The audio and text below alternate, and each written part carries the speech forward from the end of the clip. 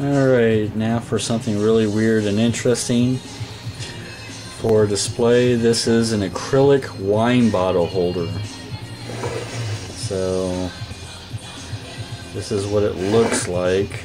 I don't know if this is going to work or not, but we're going to try a couple things with it.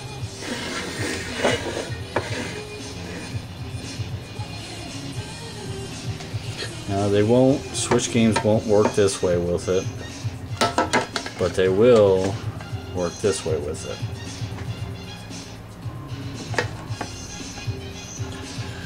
And they work either with a two pack or you can do it as a three pack.